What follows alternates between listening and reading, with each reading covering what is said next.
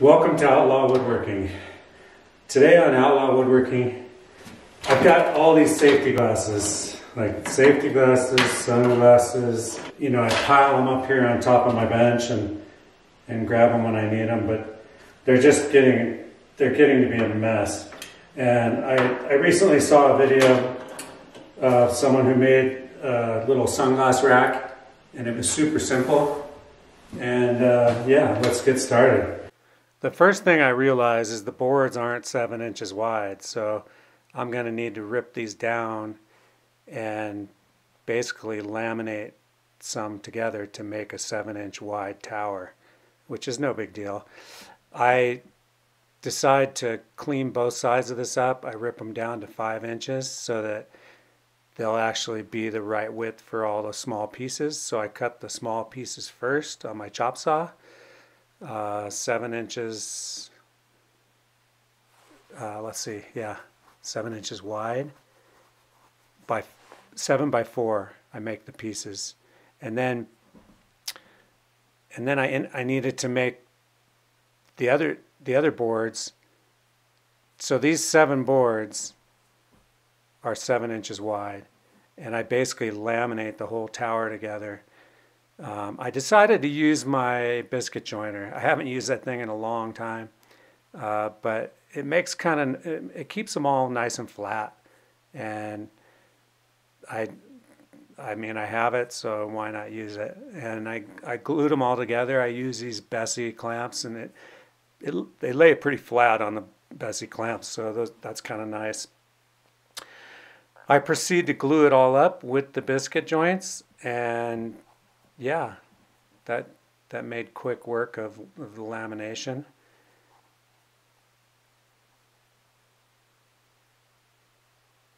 I always put too much glue though, and it ends up dripping all over the place. That's why I, I always use the plastic. Anyway, I clamp this thing down nice and tight, get it, get it uh, glued up, and then I go back and I start cutting the little shelves. And the, the little shelf pieces are the pieces that are going to be four by seven.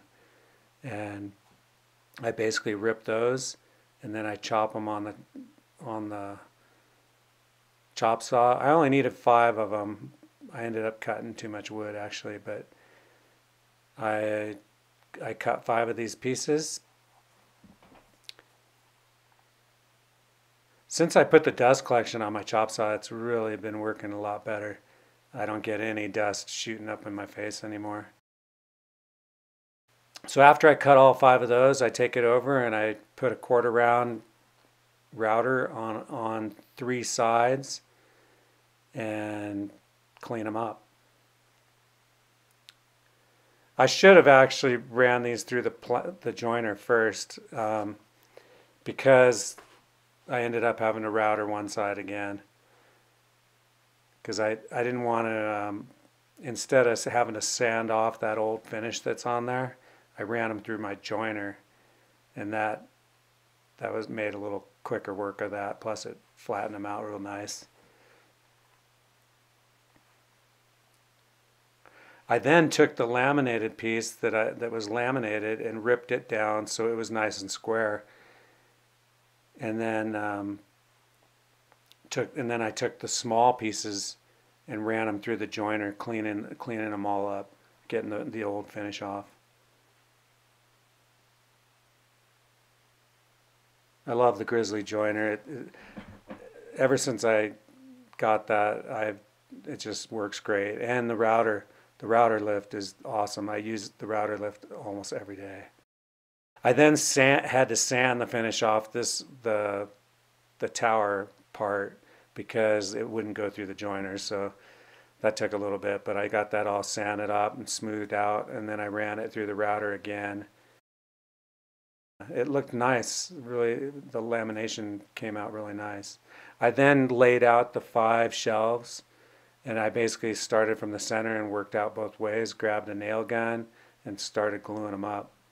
They're a little tricky to glue like that because um, I had to kind of clamp them in the center of my marks and then shoot them from behind. Another way I could have done it is to run dados and that would have held them in place a little better. But I, on this particular thing, I ended up just clamping it and nailing it right where I wanted it. And it, it actually worked out pretty good. I used my nail gun with some stainless steel nails and yeah, it made quick work with it. I it was a little awkward clamping, but it worked out. The little ridges, uh, I faced them all up, and the ridges were on the back of the siding.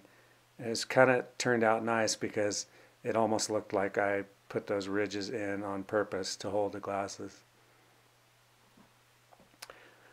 After I got it all nailed and looking good, I put some uh, mounting holes in it, and then I proceeded to. Uh, I decided to use the walrus oil because I like I just like the natural look of it. Um, it's probably a little expensive to be using it on this, but I ended up using it anyway, and it it really had a cool look and it matched the the molding around my door too pretty good. So thanks for watching this episode of Outlaw Woodworking. I really I really like the way this turned out. I always get excited when I use some scrap wood and turn it into something. And this was some of that old siding that had these ridges on it. And I ended up using the ridges so that the glasses actually, you know, I put all the ridges up so it looks like the glasses have to kind of sit in those ridges. But I ended up, uh, I put some walrus oil on it and I just think it looks great. I really, um, yeah, anyway, uh, eyeglass rack, outlaw style. If you like the video, subscribe and give it a thumbs up, ring the bell, and I will see you next time. We'll see if we can make some more stuff out of some scrap. Anyway, uh, I think this, I used to hang my apron here, so now I hang my apron down below, and every time I go get my apron, it'll make me get some safety glasses too. So anyway, Hope you enjoyed the video. Later.